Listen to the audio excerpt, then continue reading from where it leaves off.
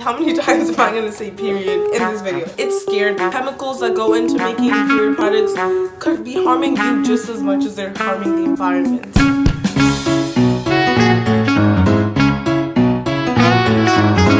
Hey guys, what is up? It's Aime and welcome back to my channel. Today's video is going to be one about sustainability. Specifically, we're going to be talking about periods and how you can be more sustainable during your period and the different methods that are available to you. And this video is actually in partnership with a brand that makes reusable pads, which I personally use. So to start the video, I wanted to talk about different stats relating to kind of single-use period products and why they're so unsustainable. Like when I was doing research for this video, a lot of these really shocked me because it's really big numbers. A lot of people kind of do like reusable straws, reusable water bottles. But I think getting into reusable period products is amazing considering how many people use single-use period pro how many how many times am I gonna say period in this video a lot the first one is that the average woman will use 11,000 pads in their lifetime which is a huge number. Just like think about that. It's a lot. So the second thing related to period products and why they're so unsustainable is the fact that they're made of a lot of plastic. I forget the number, but I will put it on the screen. You have to keep in mind that plastic is basically just oil and we kind of know how um, unsustainable oil is and how it harms the environment. But it also harms you because oftentimes it's not just made with plastics, but a lot of other different chemicals. And you're literally putting that inside of you if you're using a tampon. So just think about how this could be not just impacting the earth, but it could also be impacting you. So the next stat is that in the US, um, there are 5 billion pads and 7 million tampons that are used every year. Once again, really big numbers, and this is just in one country. This wasn't for the entire world, so just think about how much bigger this number is going to be if it was worldwide. And you can just see how these things are piling up in the landfills. And then the other thing that it, that kind of makes um, single-use period products so unsustainable is that a lot of like effort, resources, and power goes into making them. use them once and then you throw it away. Whereas if you do use something reusable, yes, you can use more materials in the making of it, but these things last for so much longer that in the long run, you definitely save on energy. And also you save on space in landfills because you're not throwing these things away constantly. Okay, so now this is the part of the video where I talk about basically the three main um, sustainable period products that are kind of available to you and then I will have you guys kind of decide which one you think works for you because it definitely depends on like whether you currently use pads or tampons, your age, kind of like which one you can afford more because there is different price points. And then also just like your lifestyle and what you want out of a period product. So i'm just going to go through the three main ones and then you can decide for yourself which one you prefer and which one will work better for you. So the first product i'm going to share with you guys is the one that i personally use and the reason being I could never get into tampons you guys. It scared me. Um I tried using a tampon once and I just couldn't do it. So I decided instead to just stick to pads. So when this company reached out to me to try their reusable pads I was like super excited because I'd always wanted to switch to more sustainable period products. But when they reached out to me to try their um reusable pads i was like kind of excited to try it out. And not gonna lie i was also kind of like how sanitary is it? Isn't that a little disgusting? It's really not that bad. And i mean you wash it you don't just use it forever. It's not that gross. Like as long as you wash it before using it again. These are the pads. This is what they look like. They're pretty just like minimal gray and black. And these work literally so well. I don't have very heavy flow so that might be um, why they work well for me because I really only use like three of these per day and the pack that they sent me came with six so I basically use these for three days and then I still have a pack of pads that I'm trying to run through so I will kind of like use these until I run out of them and then I'll switch to the single use pads. Once I've used up all of those pads then I will for sure buy another pack of these so I can like use these through my whole period. And my periods usually last around like four to five days. Just like a quick tutorial on how to use them. It's kind of self-explanatory. So basically what you do is it comes with like little clasps. So I have a piece of paper here that I'm going to demonstrate how to put this on because I don't want to use actual underwear. So basically if this was like my underwear you just stick it on your underwear and on the back there's like a little clasp and you just pop it and it works just like that. It's literally self-explanatory. It's really easy and I've never had a problem with this le leaking. Um, I know usually when I use regular pads I always have to worry about that because sometimes like the stickiness will like move around and stuff like that but these literally like you just clasp it and it doesn't move around at all. And the absorbency on this is absolutely amazing. This black fabric that you see right here is basically waterproof. And then this like front layer on here is like super soft. So you, it's honestly so comfortable. And regular pads will like stick to my leg and can be super uncomfortable. But once again I don't have a problem with these.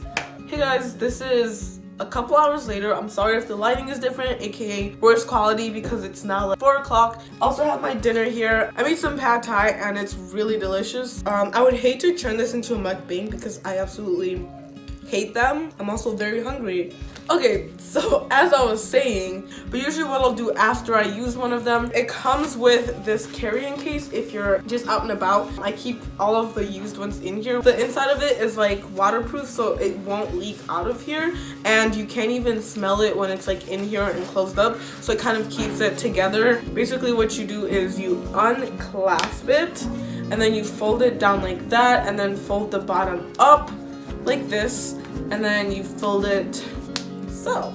And then it makes like a little square type situation. And this is basically, it's all like contained together and that kind of does a lot to like keep it so it doesn't like go anywhere. And then you put it in your bag lock it up, and boom, you're done. So on days when I'm kind of out and about, when I'm not home at all, I will usually just have this bag with me and also keep extra ones in my backpack.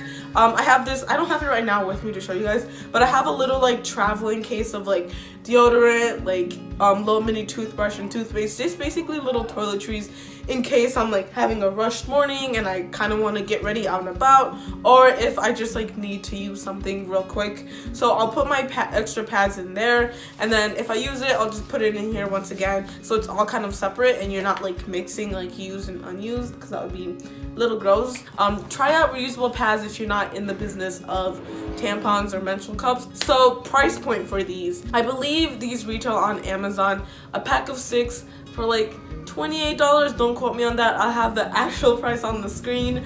Um obviously if you compare it to like regular pads that aren't reusable it might be a little bit more but if you think about it you will use these for i forget the year for how long these last but these last way longer than like regular um, disposable pads so I feel like you definitely get your money's worth out of these. And once again it's way better for the environment and you're kind of saving on like the landfill space. So definitely check these out. I'll have the link down below where you can buy these specific pads because I definitely recommend them. I think it's a great investment especially if you're trying to be more sustainable in 2020 I need to stop flipping like letting my hair fly around. So in case you kind of aren't inclined to do reusable pads, I know it's not for everyone.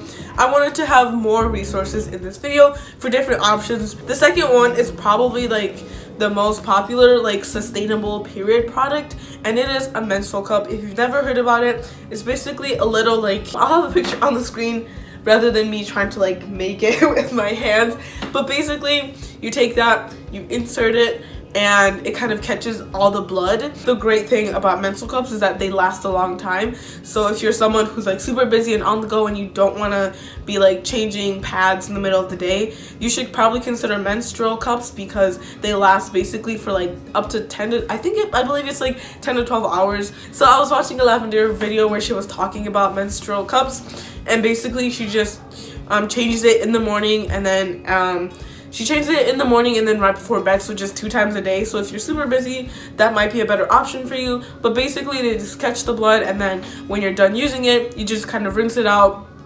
and reuse it obviously. Menstrual cups are made of silicone so they're a much better material for you than like um, regular tampons which can be, have like harmful plastics or like chemicals in them that could actually hurt you. So it's also once again a lot better for your health and for the healthy environment because they last for a long time and you can kind of use them over and over and over again until they kind of like have run their course. And the final kind of um, period product I'm going to share with you guys if the first two aren't your thing is period underwear and this is something that I have never tried before. It's basically regular underwear but they put reusable pads in it.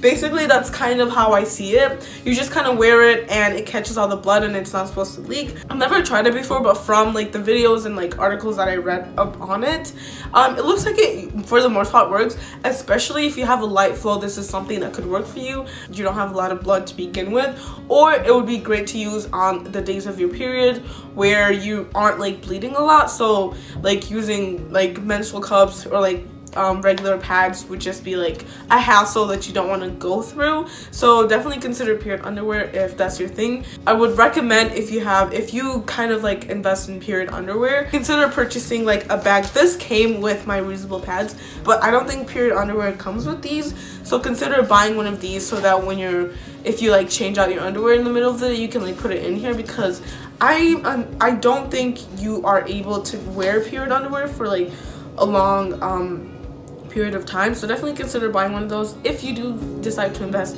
in period underwear. And the price point for period underwear is usually around $30 a pair. So it is a bit more of an investment because you have to like consider like how many days of your period you're going to be wearing this underwear.